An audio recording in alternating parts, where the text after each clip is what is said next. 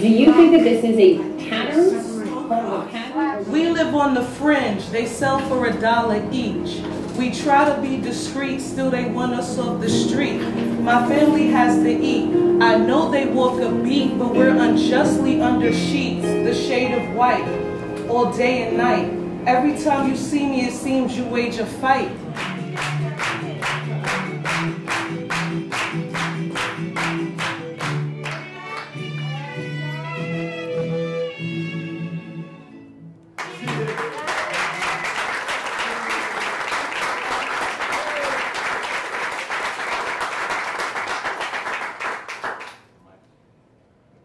Speak English. Go back to your own country. We're back.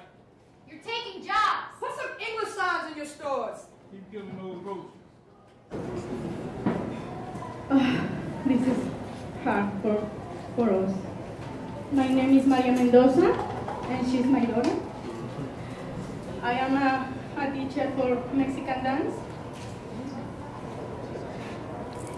It's right, I can't speak English very well, but I'm going to try. Sounds good to me.